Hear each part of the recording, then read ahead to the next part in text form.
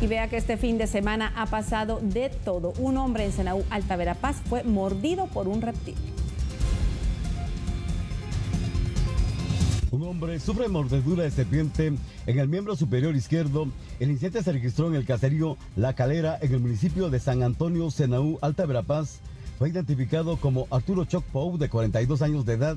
Este se encontraba limpiando la plantación de cardamomo cuando el reptil lo atacó de la especie mano de piedra, indicaron los bomberos municipales departamentales, estación 108 de la Tinta, quienes atendieron la emergencia. Fue trasladado inmediatamente a la emergencia del Hospital Distrital de Santa Catalina La Tinta, en donde quedó internado para su curación. Es importante señalar que en diferentes eh, puntos de la región norte del país han sido varias personas víctimas de serpientes. Por esa razón, los cuerpos de socorro hacen un llamado a la población en general tomar sus precauciones y evitar este tipo de inconvenientes que ponen en peligro su integridad física.